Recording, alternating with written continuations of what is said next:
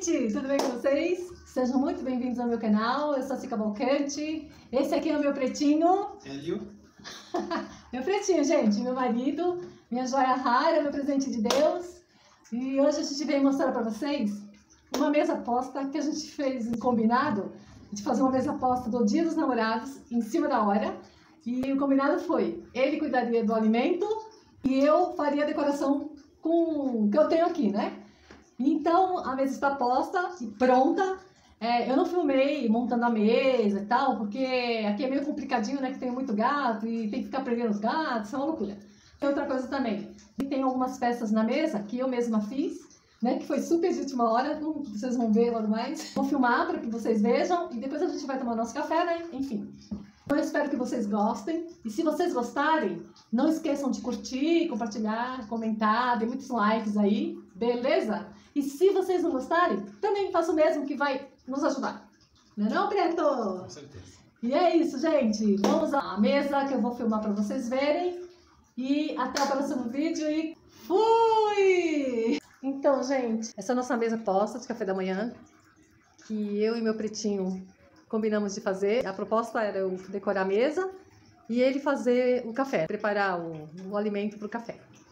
Como é uma mesa feita assim de última hora, eu usei absolutamente tudo que eu tinha e fui usando a criatividade aqui, né? Fiquei um, uma madrugada quase montando umas coisinhas aqui que eu queria fazer. E eu fiz uma mesa fora do convencional, né? Que as mesas que a gente vê são todas em tons de vermelho, cada um faz uma combinação. E eu quis então sair um pouco da, dessa tonalidade. Então eu fiz uma mesa azul. Sim, é possível fazer uma mesa do Dia dos Namorados usando azul. E eu achei bárbaro. A princípio eu estou usando esse filho azul, usando esse joguinho aqui que eu tenho de, de café. Isso aqui a gente ganhou quando nós casamos, já tem mais de 20 anos. Eu quase nem uso. Então eu estou usando aqui esse talher simples, né? Também, mas é como ele é azul marinho, eu quis colocá-lo aqui. E usei esse material aqui de, de palha seca, não sei que material é esse, que eu achei bem bacana. Eu comprei, estava guardado, falei, ah, vou usar. Eu não tinha guardanapo e fiz o guardanapo com cola quente, gente. A barrinha dele, acreditem, tá colado com cola quente. Gente, esse é o meu segundo porta-guardanapo, criação minha. Eu usei, né, para fazer essa combinação aqui. Coloquei numa argolinha transparente. E aqui tá meu porta-guardanapo que eu amei. Tô usando este copo de suco ou água, vou decidir o que vou tomar. Ai, gente, eu fiz o coração de bis. No topo do coração, esses três coraçõezinhos de glitter. Amarrei com cordão azul também. E coloquei mais o coração na frente para dar um acabamento. Do meu lado, ou do lado do meu marido, a gente escolhe, coloquei esse passarinho e um coração também aqui. Aqui, gente, é um vasinho de juta que eu havia feito também na, na, na outra mesa que eu fiz. Eu improvisei, aí eu coloquei para arrematar esse barbante azul também, para dar uma arrematada, e coloquei a, a, flor azul. Ah, lembrando também que eu, essa mesma peça, que eu não sei se eu, se eu chamo de suplá, eu coloquei aqui para dar uma quebrada no tom de azul, né? E aqui, gente, é o seguinte, isso aqui, que tá meio coração, meio não, é, na verdade era uma, era, um, era uma borboleta que eu ganhei do meu sobrinho, que era para colocar na geladeira, sabe? Você puxar a geladeira e colocar para proteger, não sei, ele tava meio murchinho. E ele quase já estava indo para o lixo. Eu falei, ah, já sei. Forrei ele com barbante, o barbante era azul nesse tom. Aí eu forrei com barbante e pintei. Usei uma tinta azul e deu esse resultado aqui. Essa foi a minha criação paleta. Agora vamos aos comes e bebes que o meu marido preparou. Aqui vai a manteiga, aqui vai um creme de avelã com alguma coisa que ele, que ele comprou e colocou nesse pote. Aqui, gente, é a torrada, essa peça também já tenho há muito tempo, acho maravilhosa, apetitosa, dá vontade de comer tudo que tem aqui. Foi uma amiga minha que fez. Ele colocou a torrada. Aqui é a tampa, gente. Olha que coisa bem feita, feita de biscuit. Nesse recipiente azul aqui, ele colocou esse pouco de marshmallow com suspiro, que tinha só esse pouquinho aqui. Ele achou que ia combinar com a mesa, né? Ele tá entrando nessa vibe aí. Então ele colocou aqui na mesa, achei bem bonitinho. Aqui ele é, colocou um patê, que ele adora patê de sardinha cebola.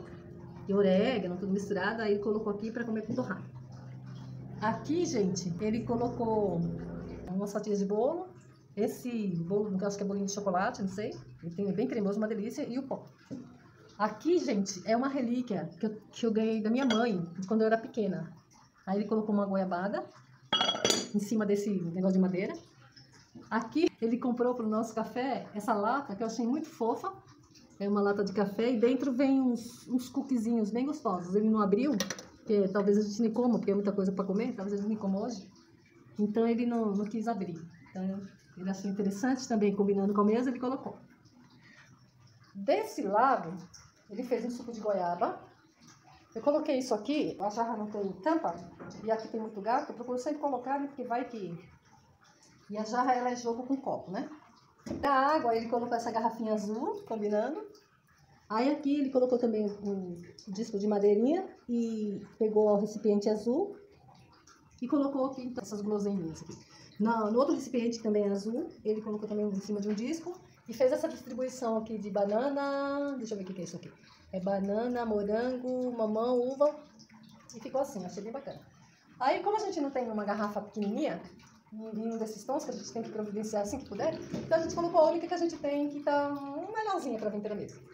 Não colocou leite, ele não quis colocar leite porque a gente está sem recipiente de leite, essa é a grande verdade. A gente tem recipiente de leite, mas é para ferver o leite, e não para colocar mesmo. E para arrematar, ele botou uma canção, uma canção para enquanto eu estava arrumando a mesa. Junto com ele, ele colocou aquela canção Xi, que agora eu não sei o nome do cantor. E aí ele, acho que não tem a letra legal, ele pediu para que eu fizesse ah, uma frase da canção aqui na lousa, né? E, né, que significa ela. E atrás da lousa, Xi, ela, o sentido da minha vida. Traduzindo, né? Aí ele fez isso, gente. Ele não é um fofo, meu marido. Ele é um, fofo. Então ficou assim. Eu posso colocar de um lado ou de outro. Então é essa a nossa mesa, gente. Se vocês gostarem, vocês curtam, compartilhem, comentem. Ative o sininho e espero que vocês gostem de verdade. Mostra um. Aqui, tá? Mostra aqui, ó. Alguém derrubou alguma coisa? Linda!